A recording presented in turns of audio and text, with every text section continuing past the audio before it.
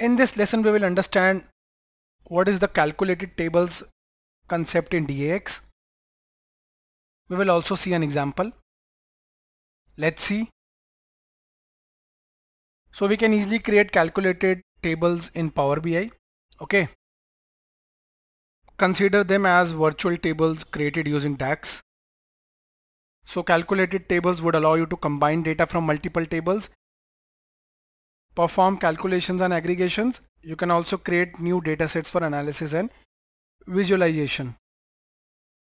You can also summarize data by grouping or aggregating, merge data from multiple tables, okay. Also enhances data modeling and relationships. Okay, some of its use cases include you can summarize data by grouping or aggregating, you can easily merge data from multiple tables okay you can create custom data sets for specific analysis.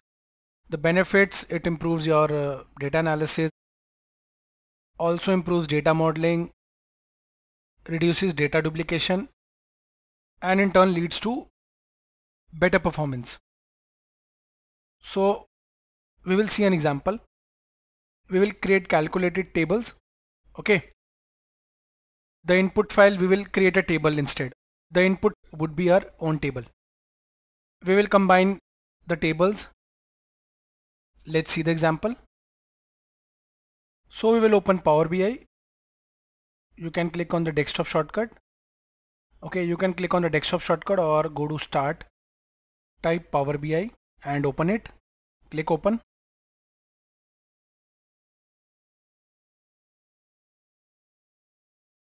click blank report. Now here in let us enter the data. First we will create a new table. Here click enter data.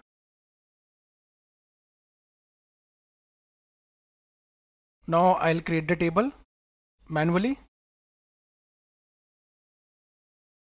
I'm adding the columns student, subject and marks plus subject, marks. Okay. Now I'll add some values to each of the columns.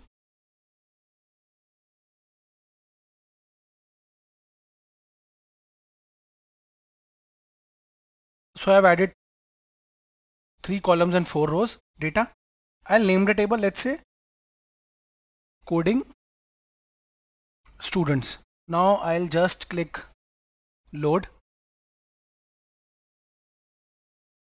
Now the first one will load. Now the first table is loading. Four rows loaded. Okay. Okay, on the right you can see under the data you have your first table. Now click enter data again and create the second table. This will be our management students table. The first one was coding students. I'll add student. Click the plus sign subject and mark same but for different table. Now let us add the values for the second table.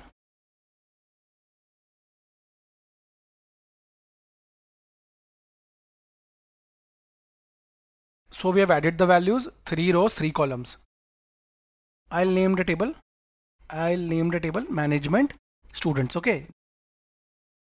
Click load. Now we have two tables both the tables are visible okay on the right you can see coding students table 1 and management students table 2 to combine both the tables that is under the calculated tables concept now we will reach the table view. For that click here. Table view. And here it is. Now the tables are visible 1 and 2 what we will do to combine? Click table tools this one. And now we will create new table by clicking here. Now the formula bar will also open. We need to add the DAX expression now here okay so let me add it.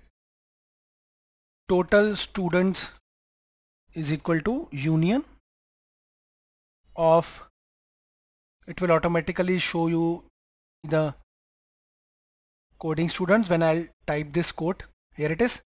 You can add coding students comma quote again and it will show the last one management students. That's it. Now close it. And uh, the new table the new table's name would be total students okay? So this is the query we added for DAX that is DAX expression. Press enter. And now you can see we have combined our tables together. Okay and we can save it also. We can directly click here save. And it will save it. Let's say I'll name it Amit DAX calculated tables pbix is the extension for your Power BI file. Okay. Now I'll click save and it will save.